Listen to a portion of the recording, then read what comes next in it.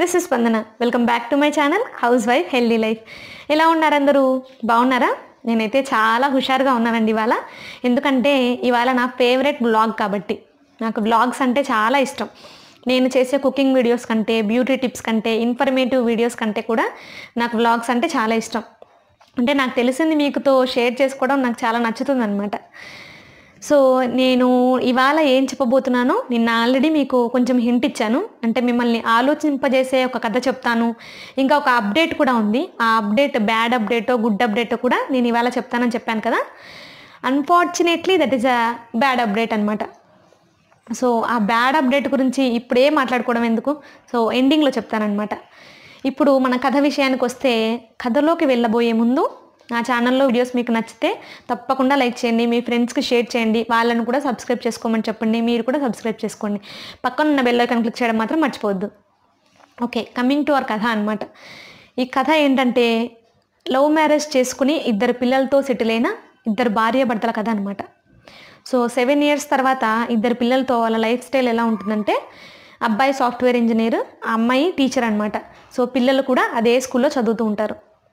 Morning ఆ అబ్బాయి ఆ ముగ్గురిని అదే స్కూల్లో డ్రాప్ చేసి ఈవినింగ్ ఆ అమ్మాయి వచ్చేస్తుంది అనమాట ఎందుకంటే సాఫ్ట్వేర్ ఇంజనీర్స్ వచ్చేసరికే బాగా లేట్ అయిపోతుంది. వాళ్ళ టైం సెవెనో ఎయిటో అవుతుంది. స్కూల్స్ తొందరగా అయిపోతాయి కదా. కాబట్టి ఫోర్కో ఫైవ్కో అమ్మాయి ఇంటికి వచ్చేసి పిల్లల్ని చూసుకునేది అనమాట వాళ్ళతో హోంవర్క్ చేయించడం కానీ వాళ్ళకి స్నాక్స్ చేసి పెట్టడం కానీ హస్బెండ్కి డిన్నర్ ప్రిపేర్ చేయడం కానీ ఇలాంటి వాటిలో ఉండేదన్నమాట. సాఫ్ట్వేర్ ఇంజనీర్గా ఈయన లైఫ్ చాలా బిజీగా ఉండేది. పిల్లలతో ఆ అమ్మాయి లైఫ్ కూడా చాలా బిజీగా ఉండేది. సో ఇద్దరికి సాటర్డే సండే హాలిడేస్ ఉంటే వాళ్ళకి పిల్లలకి సండే మాత్రమే హాలిడే ఉంటుంది కాబట్టి ఆ సండే ఈ ఇద్దరు కలిసి వాళ్ళని బయటికి తీసుకెళ్ళి మంచిగా అంతా బీచ్ రోడ్లు కానీ ఇలా రెస్టారెంట్స్ కానీ తీసుకెళ్ళి హ్యాపీగా ఎంజాయ్ చేసేవాళ్ళు అనమాట సో ఇలా ఉన్న లైఫ్లో ఒకరోజు ఏమవుతుందంటే ఈ హస్బెండ్కి ఒక ఫైల్ అనేది కనిపించదు. ఆ ఫైల్ కోసము అడుగుతారు మా వైఫ్ని అడుగుతాడనమాట. ఆ అబ్బాయి పేరు అరుణ్ ఆ అమ్మాయి పేరు అనుష. సో అను నా ఫైల్ ఎక్కడుందో చూసావా? అని అడుగుతాడు. ఆ కబోర్డ్లో ఎక్కడో ఉంటుంది మీరే చూసుకోండి. నాకు పిల్లలతో కొంచెం బిజీగా ఉన్నాను అని చెప్పేస్తుంది అనమాట సో ఆ అబ్బాయి ఆ ఫైల్ అంటే తొందరగా ఆఫీస్కి టైం అయిపోతుందని తొందరలో గబగబా ఫైల్ వెతికేసి వెతకాలని తొందరలో అన్ని చిందరవందరగా పడేసి ఆ ఫైల్ అనేది తనకు దొరకగానే తీసుకుని వెళ్ళిపోతాడనమాట వెళ్ళిపోయిన తర్వాత ఆఫీస్కి వెళ్ళిపోయినప్పుడు అంటే మనము ఎంత హడావిడిలో ఉండి కొన్ని మన మన కళ్ళతో మనం చూసినవి కూడా కొన్ని మిస్ చేస్తాం. మిస్ చేసిన తర్వాత లేటర్ అవి బాగా తర్వాత మన సబ్ కాన్షియస్ మెమరీలో కొంచెం రిజిస్టర్ అయి ఉంటాయి అనమాట మనకి ఏదైనా ఇంట్రెస్టింగ్గా కనిపించి కూడా మనం పట్టించుకోకుండా వదిలేసినవి అనేవి మనకు సబ్ కాన్షియస్ మెమరీలో స్టోర్ అయి ఉంటాయి కాబట్టి అబ్బాయికి తను చిందరవందరగా చేసిన కబోర్డ్స్లోంచి ఒక రెడ్ కలర్ గిఫ్ట్ బాక్స్ లాంటిది ఇంత పెద్దదనమాట సో ఇంత పెద్ద గిఫ్ట్ అనేది కనిపించినట్టు గుర్తొస్తుంది. ఆ గిఫ్ట్ ఏంటి? నా బర్త్డేకి గిఫ్ట్ ఇచ్చే అలవాటు తన వైఫ్కి లేదు. మరి మ్యారేజ్ డేకి కూడా మేము ఇద్దరు గిఫ్ట్లు ఏమి ఇచ్చుకోవట్లేదు. మరి పిల్లల బర్త్డేకా అంటే పిల్లల బర్త్డేకి గిఫ్ట్ ఎప్పుడు హస్బెండే కొంటాడు. సో ఈసారి ఒకవేళ వైఫ్ కొనాలనుకున్న పిల్లల బర్త్డేస్ ఇప్పట్లో లేవు. మరి ఏంటి ఆ గిఫ్ట్ ఎవరైనా పోనీ తన బర్త్డేకి ప్రజెంట్ చేశారా? అంటే రీసెంట్గా వైఫ్ బర్త్డే అయిపోయింది కదా కాబట్టి ఏమైనా గిఫ్ట్ ఇచ్చారా? మరి నాకు ఎందుకు చెప్పలేదు అనే ఆలోచన తన మనసులో ఉంటుందన్నమాట. ఆ ఆలోచనతో ఆఫీస్ నుంచి తొందరగా వెళ్ళి ఆ గిఫ్ట్ ఏంటో ఓపెన్ చేసి చూద్దాం అనుకుంటాడు. బట్ మీకు తెలిసిందే కదా సాఫ్ట్వేర్ ఇంజనీర్స్ జాబ్స్ అంటే వాళ్ళ చేతిలో ఉండవు. కాబట్టి లేట్గా ఇంటికి వెళ్తాడనమాట. వెళ్ళిపోయిన తర్వాత వైఫ్ పిల్లలు పడుకున్న తర్వాత మెల్లగా దొంగలాగా కబోర్డ్ ఓపెన్ చేసి ఆ బాక్స్ వేరే రూమ్లోకి తెచ్చుకుని లైట్ ఆన్ చేసి చూస్తాడనమాట. ఆ బాక్స్లో ఏముంది? ఆ రెడ్ కలర్ బాక్స్లో అనేసి. బాక్స్ ఓపెన్ చేసి చూడగానే చాలా ఆనందం వేస్తుంది అనమాట అబ్బాయికి. ఎందుకంటే అవి తను పెళ్ళికి ముందు ఆ అమ్మాయికి రాసిన లవ్ లెటర్స్ ఇచ్చిన గిఫ్ట్స్ ఆ అమ్మాయి ఆ అబ్బాయికి ఇచ్చిన గిఫ్ట్స్ కూడా అందులోనే నీట్గా భద్రపరుచుకుని దాని వాటి మీద స్టిక్కర్లు అంటించుంటుంది అనమాట ఏం స్టిక్కర్లు అంటే ఈ బ- ఈ గిఫ్ట్ ఎప్పుడు ఇచ్చాడు? ఏ సిచ్యువేషన్లో ఇచ్చాడు ఈ గిఫ్ట్ ఏ ఏం చెప్పి ఇచ్చాడు అనేసి నీట్గా భద్రంగా మర్చిపోతుందేమో అని రాసుకుని పెట్టుకుంటుంది అనమాట ఆ జాగ్రత్త అంతగా ఆ బాక్స్ని ఇంకా అంత నీట్గా పెట్టుకోవడం ఆ అబ్బాయి గమనించి సో ఇంకా అను నా నేను నా విషయాలన్నీ ఇంకా మర్చిపోలేదు. నేను లవ్ చేసినప్పుడు ఏం చెప్పానో ఇంకా మర్చిపోలేదు. అన్ని జాగ్రత్తగా తీసి తీసి పెట్టుకుంది. చా నేనేంటి అసలు ఎప్పుడూ పిల్లలతో గడపడమే కానీ మాకంటూ ఇద్దరికి ఒక టైం అంటూ లేకుండా అయిపోయింది కదా. పిల్లలు పుట్టిన తర్వాత కేవలం జీవితం మొత్తం పిల్లలకే అన్నట్లు ఉండిపోయాము. సో పెద్దగా నేను అనుతో పర్సనల్గా టైం స్పెండ్ చేసింది లేదు కదా. అని ఆలోచించి పోనీ ఇప్పటికైనా తెలిసింది కదా. అను అను బాగా జాగ్రత్తగా పెట్టుకుంది. నేను కూడా ఇలాగే ఇంకా అన్ని మెమరీస్ గుర్తు పెట్టుకున్నానని తనకు తెలియాలి. తెలియాలంటే ఏం చేయాలి అని చెప్పేసి చూద్దాం. సండే రాని సండే తనకు బాగా సర్ప్రైజింగ్ ఇచ్చేలాగా ఏమైనా చేద్దాం అనుకుంటాడనమాట. సో అనుకున్నదే తడవుగా సండే రాగానే ఏం చేస్తాడంటే మార్నింగ్ అందరికంటే ముందుగా లేచి కాఫీ కప్పుతో ఆ అమ్మాయిని నిద్ర లేపుతాడు. అను కాఫీ అనేసి చాలా హ్యాపీగా ఎగ్జైటింగ్గా అమ్మాయికి ఇస్తాడనమాట. అమ్మాయి నీటి లేచిన వెంటనే జుట్టు సరిచేసుకుని ఆ కాఫీ కప్ అందుకుంటుంది వితౌట్ ఎనీ ఎక్స్ప్రెషన్స్ అంటే అమ్మాయికి ఒక సంతోషం కానీ ఆశ్చర్యం కానీ ఏంటి మీరు ఇంత తొందరగా లేచారా నా కోసం? అనే ఒక ఫీలింగ్ కానీ అయ్యో నా కోసం కాఫీ తీసుకొచ్చారా? అనే సంతోషం కానీ ఏమీ కానీ అమ్మాయి మొహంలో కనిపించదు. అవేవి పట్టించుకోకుండా ఈ అరుణ్ ఏం చేస్తాడంటే అను మన ఇద్దరం కలిసి బాల్కనీలోకి వెళ్ళి కబుర్లు చెప్పుకుంటూ కాఫీ తాగుదాం అని చెప్తాడనమాట సో అమ్మాయి ఏమి మాట్లాడకుండా ఆ అబ్బాయి ఎటు వెళ్తే అటు అనుసరించి బాల్కనీలోకి వెళ్ళి ఇద్దరు ఎదురెదురుగా కాఫీ తాగుతూ ఉంటారనమాట తను ఎగ్జైట్మెంట్తో చెప్తాడనమాట మనం నీకు గుర్తుందా? మనం ఎప్పుడో పెళ్ళైన కొత్తలో ఇలా బాల్కనీలో ఇద్దరం టైం స్పెండ్ చేసేవాళ్ళం. ఎంతోసేపు కబుర్లు చెప్పుకునే వాళ్ళం నాకు ఆఫీస్కి లేట్ అయిపోయేది నీకు స్కూల్కి లేట్ అయిపోయేది. బట్ అయినా కూడా మనం ఇలాగే కాఫీ తాగుతూ బ్రేక్ఫాస్ట్ కూడా స్కిప్ చేసి వెళ్ళే వాళ్ళం నీకు గుర్తుందా? అనేసి చాలా ఎగ్జైట్మెంట్తో అన్ని మెమరీస్ గుర్తు చేస్తాడనమాట నాకు కూడా ఆ మెమరీస్ గుర్తున్నాయి అని చెప్పుకోవడానికి. సో ఆ అమ్మాయి ఏంటి? ఇప్పుడు కూడా ఏ ఎక్స్ప్రెషన్స్ లేకుండా ఆ అబ్బాయి కాఫీ కంప్లీట్ చేయగానే రెండు కప్పులు ఒకే ట్రేలో పెట్టుకుని తీసుకెళ్ళి క్లీన్ చేస్తుంది. చేసి మళ్ళీ పూజ చేయడానికి అని చెప్పేసి స్నానానికి వెళ్ళిపోతుంది. ఈ అబ్బాయి ఏం చేస్తాడు? సరే ఏదో నిద్ర లేచింది కదా పెద్దగా తెలిసి ఉండదు. ఏదో అలసిపోయి నిద్రపోయినట్టుంది అనేసి ఈసారి ఏం చేస్తాడు? బాగా వేడివేడిగా బ్రేక్ఫాస్ట్ చేసి తనకు సర్ప్రైజ్ ఇద్దాం అనుకుంటాడు. అంటే ఆ అమ్మాయి స్నానం చేసి వచ్చే లోపల మనం బ్రేక్ఫాస్ట్ చేసి తనకు తెలియకుండా అలాగే ఉందాం అనుకుంటాడు.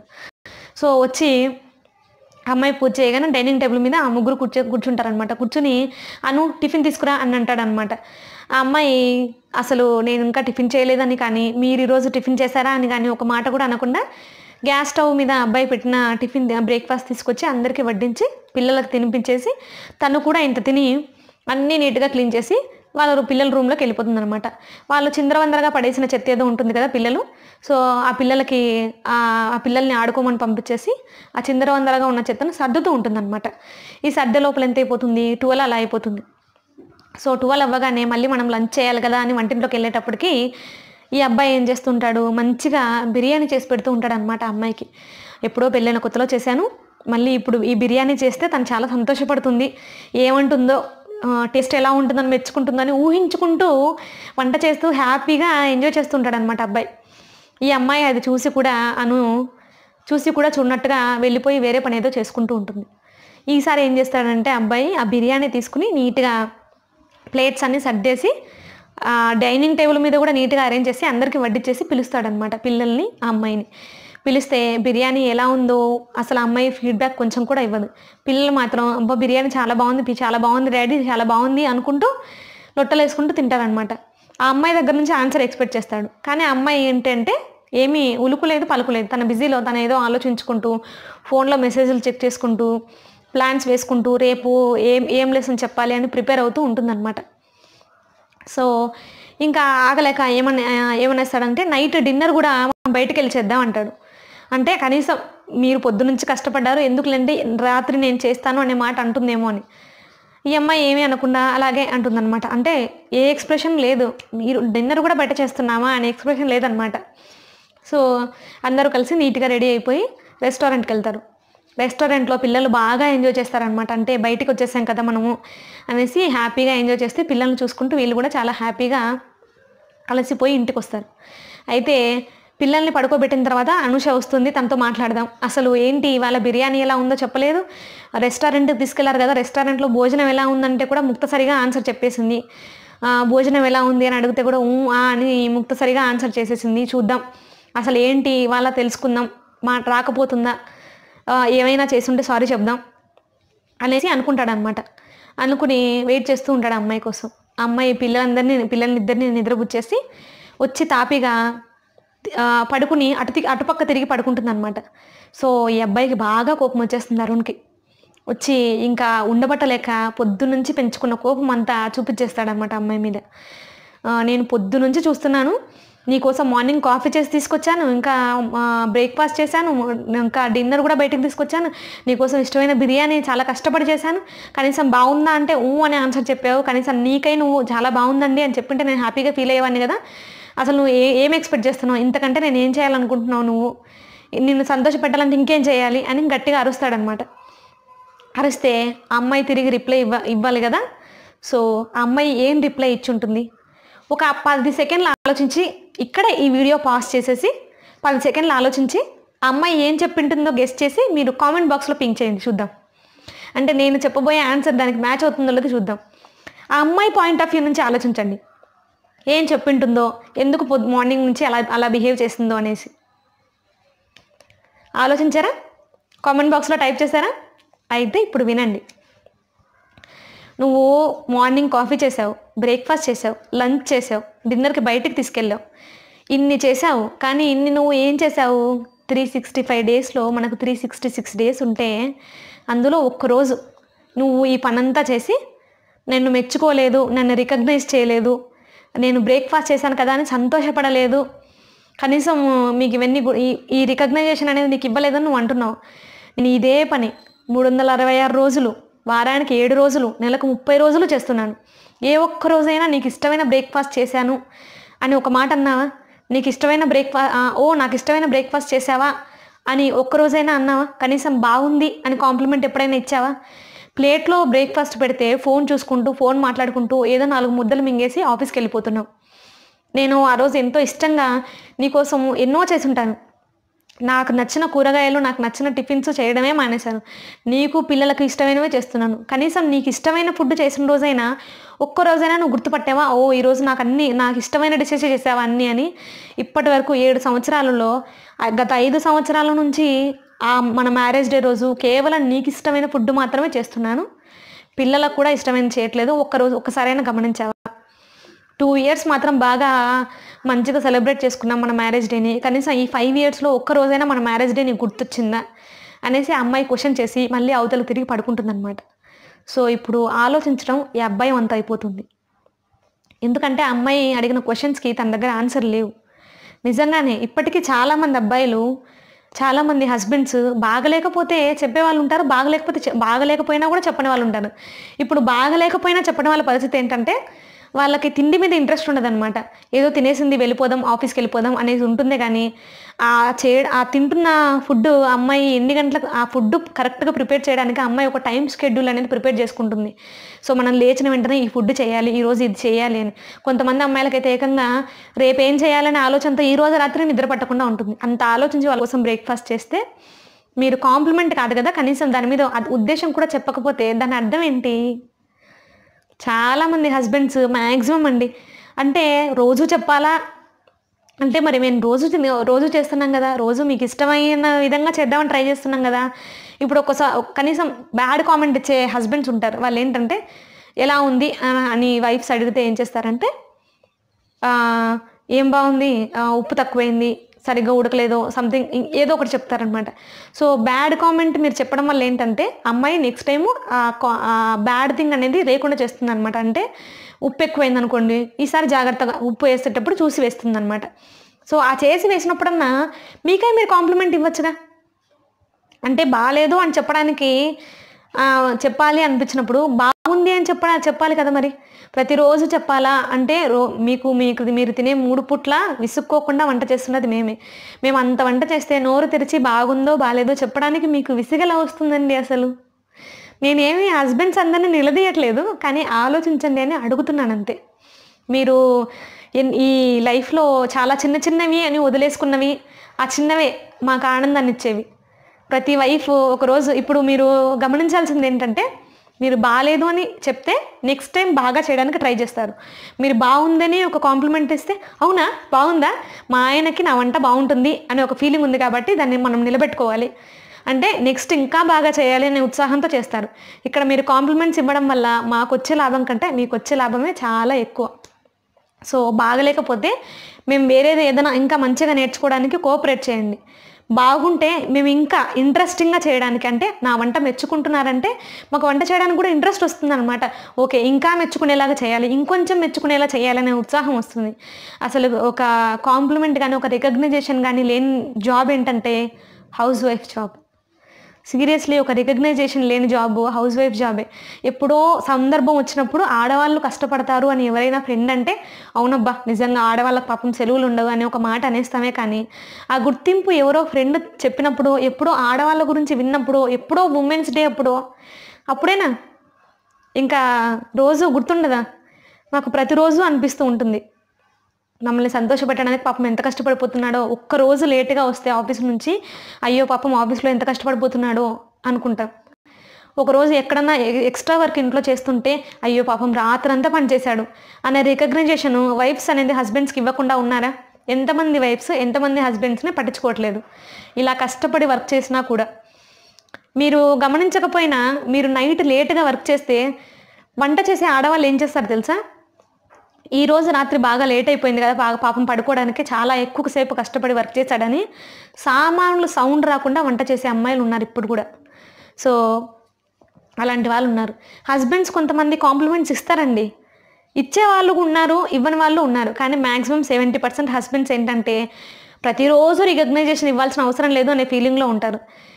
ప్రతిరోజు రికగ్నైజేషన్ చేయడం అనేది అవసరం కాదండి. అదొక తృప్తి అంతే. మీరు మీ హ- వైఫ్ని హ్యాపీగా ఉంచాలి ఆ ఒక్కరోజు? అనుకుంటే హ్యాపీగా ఉండడానికి ఇదొక చిన్న మార్గం అన్నమాట. మీరు చెప్పే ఆ ఒక్క మాట మా మాకు వంట చేసేటప్పుడు ఇంట్రెస్ట్ని కలిగిస్తుంది. సో ఇంట్రెస్ట్ కలిగించడానికి ఏమేమో చేయకుండా మీరు ఒక కాంప్లిమెంట్ ఇస్తే సరిపోతుంది. ఈ టాపిక్ గురించి నేను ఎక్కువగా ఎక్స్టెండ్ చేయను. ఎందుకంటే నేను చెప్పబోయే ఉద్దేశం ఏంటో మీకు అర్థమైంది. కాంప్లిమెంట్ మీరు బ్యాడ్ కామెంట్ ఇచ్చినా మంచి కామెంట్ ఇచ్చినా కూడా మేము డిసప్పాయింట్ అవ్వం. బ్యాడ్ కామెంట్ ఇస్తే నెక్స్ట్ రోజు ఇంకా బాగా చేద్దాం అనుకుంటాం. గుడ్ కామెంట్ ఇస్తే ఇంకా ఎక్కువ మెచ్చుకునేలాగా మన మీద ఒక నమ్మకం అనేది పడిపోయింది. మనం వంట బాగా చేస్తామని. కాబట్టి దాన్ని నిలబెట్టుకోవాలి అనే కష్టంతో ఇంకా ఇంట్రెస్టింగ్గా చేస్తాం. దీంట్లో మీకు వచ్చే నష్టం కంటే లాభమే చాలా ఎక్కువ. నోరు తెరిచి ఒక మాట చెప్పండి. బాగుందో బాగాలేదో అని. మేము అడగకుండానే. సరేనా? ఓకే. ఇప్పుడు నా నేను చెప్పబోయే బ్యాడ్ అప్డేట్ ఏంటంటే నేను ఈ ఛానల్ స్టార్ట్ చేసేటప్పుడే చాలా ఆలోచించి నా టైం ఒక టూ డేస్ ట్వంటీ టూ డేస్లో ఒక ట్వంటీ ఫోర్ అవర్స్ స్పెండ్ చేసి మరి నేను ఈ ఛానల్కి యాప్ట్ అయ్యే నేమ్ పెట్టాను. హౌస్ వైఫ్ హెల్దీ లైఫ్ అని. ఎందుకంటే నేను హెల్దీ ఐటమ్స్ చేయాలనుకున్నాను కాబట్టి ఇది ఈ ఛానల్ హౌస్ వైఫ్స్కే కాబట్టి కరెక్ట్గా యాప్ట్ అవుతుందని ఈ ఛానల్ నేమ్ పెట్టాను. కానీ ఇదే నేమ్తో కొంచెం దగ్గర దగ్గరగా అంటే హెల్దీ లైఫ్ హౌస్ వైఫ్ అనే ఛానల్ ఇంకొకటి ఉంది. అది నాకు తెలిసి నాలుగు రోజులైంది. బట్ యూట్యూబర్స్ అందరూ మామూలుగా టెక్ ఛానల్స్ వాళ్ళని ఫాలో అవుతారు. ఏదో ఒక టెక్ ఛానల్ని ఫాలో అవుతారు అనమాట యూట్యూబ్లోనే టెక్ ఛానల్స్ కూడా ఉంటాయి. సో ఆ టెక్ ఛానల్ వాళ్ళని ఫాలో అవుతారు. నేను ఫాలో అయిన టెక్ ఛానల్ వాళ్ళు సజెస్ట్ చేసింది ఏంటంటే నియర్ బై ఉండే పేర్లు ఏవైనా పెట్టుకుంటే అంటే వేరే వాళ్ళ ఛానల్ నేము మీ నేము కొంచెం దగ్గర దగ్గరగా ఉన్నా కూడా మీ ఛానల్ డెవలప్ అవ్వడానికి కొంచెం కష్టంగా ఉంటుంది. కాబట్టి యూనిక్గా మీరు గుర్తుపట్టేలాగా మీ పేరుతో పెట్టుకుంటే బాగుంటుంది అని. నేను కూడా అనుకున్నాను స్పందన బ్లాగ్స్ అని ఏదైనా పెడదామని. బట్ స్పందన బ్లాగ్స్ కూడా ఆల్రెడీ ఉంది. నా పేరు ఎందుకు చెప్పుకోవడం నా కాన్సెప్ట్ అనేది అర్థమైతే చాలు కదా అనుకున్నాను. కాబట్టి ఇప్పుడు మనకు టైం వచ్చేసింది అనమాట మన ఛానల్ నేమ్ మార్చాలి ఇప్పుడు. సో ఇది బ్యాడ్ అప్డేట్ అయినప్పటికీ అంటే ఇన్నాళ్ళు చాలా హుషారుగా welcome to my channel house wife healthy life అని చెప్పి నేను ఇప్పుడు మళ్ళీ ఇంకొక నేమ్ కొత్త నేమ్ పెట్టుకుని నా ఛానల్ కంటిన్యూ చేయాలన్నమాట. దానికి నాకు మీ హెల్ప్ కావాలి. ఇప్పుడు మీరు నా ఛానల్లో cooking videos beauty tips vlogs informative videos కొన్ని చూసారు కాబట్టి వీటన్నిటికీ సరిపోయేలాగా ఒక పేరు అనేది నాకు సజెస్ట్ చేయండి. అది కామెంట్ బాక్స్లో కామెంట్ చేయండి. ఒక టూ డేస్ మనకు టైం ఉందన్నమాట. సో ఈ టూ డేస్ తర్వాత we have to change our name అది ఛానల్ నేమ్ అనమాట ఇది నేను చెప్పబోయే బ్యాడ్ అప్డేట్ కొంతమందికి నిజంగా నా ఛానల్ నేమ్ ఓల్డ్ అనిపించిన వాళ్ళకి నచ్చని వాళ్ళకి మాత్రం ఇది గుడ్ అప్డేట్ అయి ఉండొచ్చు. బట్ నాకెందుకో అంత రెండు రోజులు కష్టపడి అన్ని లిస్ట్ ఆఫ్ నేమ్స్ రాసుకుని ఫైనల్గా ఫైనలైజ్ చేసిన నేమ్ కదా ఇప్పుడు అన్ని రోజులు స్పెండ్ చేసి నేను రాసిన నేమ్ కదా మళ్ళీ ఇప్పుడు మార్చాలా అని ఒక చిన్న ఫీలింగ్ ఉందన్నమాట నాకు. అది సంగతి. మీకు ఈ కథ ఎలా అనిపించిందో అది ఇంకా నా ఛానల్ నేమ్ ఏం పెడితే బాగుంటుందో అది ఇంకా నా ఛానల్లో ఏవి మీకు ఇష్టమో ఈ మూడు కామెంట్స్ నేను ఎక్స్పెక్ట్ చేస్తున్నాను మీ దగ్గర నుంచి. సో మీలో ఎవరికైనా నా ఛానల్ బాగా నచ్చితే ఇంట్రెస్టింగ్గా చూస్తుంటే నన్ను ఎంకరేజ్ చేయాలనిపిస్తే తప్పకుండా కామెంట్ చేయండి. ఈ మూడు కామెంట్ చేయండి ఓకే ఇప్పటికైతే ఇంతే సంగతులు. బాయ్ బాయ్ ఓ మర్చిపోయాను. మళ్ళీ చూసారా? ఎప్పుడూ మర్చిపోతూ ఉంటాను నేను. రేపు ఏం చేశానో ఇవాళ చెప్పాలిగా మరి? ఏమిటో? మట్టి బుర్ర. గుర్తుండి చావదు. ఓకే. రేపు ఏం చేయబోతున్నానంటే ఒక మంచి స్నాక్ ఐటమ్ అనేది చూపిస్తాను. ఆ స్నాక్ ఐటమ్ ఈ రోజు చేస్తాను నేను కాబట్టి మీకు రేపు వస్తుంది అనమాట ఆ స్నాక్ ఐటమ్ బాగా కుదిరితే రేపు పోస్ట్ చేస్తాను. బాగా కుదరకపోతే నేను ఆల్రెడీ ఇంతకుముందు మీకు ఒక మటన్ కర్రీ కాంబినేషన్కి సద్ద రొట్టె బాగుంటుంది అని చెప్పాను కదా. సో ఆ సద్ద రొట్టె కూడా ఈజీగా ఎలా చేయాలో ఇంకా హెల్దీగా సద్ద రొట్టె ఇంకా టేస్టీగా ఎలా చేసుకోవాలో కూడా చెప్తానమాట ఈ రెండిట్లో ఏదో ఒకటి ఒక స్నాక్ ఐటమ్ అన్న చూపిస్తాను. స్నాక్ ఐటమ్ కుదరకపోతే సద్ద అయినా మీకు చేసి చూపిస్తాను. ఓకే? నా ఛానల్లో ఈ వీడియో ఈ వీడియో మీకు ఇన్ఫర్మేటివ్గా అనిపిస్తే ఎంతో కొంత ఆలోచింపజేసింది అనిపిస్తే ఏదో కొంచెం ఎంటర్టైన్మెంట్ ఇచ్చింది అనిపిస్తే తప్పకుండా నా వీడియోస్ని లైక్ చేయండి కామెంట్ చేయండి షేర్ చేయండి సబ్స్క్రైబ్ చేసుకోండి. పక్కన ఉన్న బెల్ ఐకాన్ క్లిక్ చేసి ఆల్ అండ్ ఆప్షన్ చూస్ చేసుకోవడం మాత్రం మర్చిపోద్దే. ఓకే? Bye bye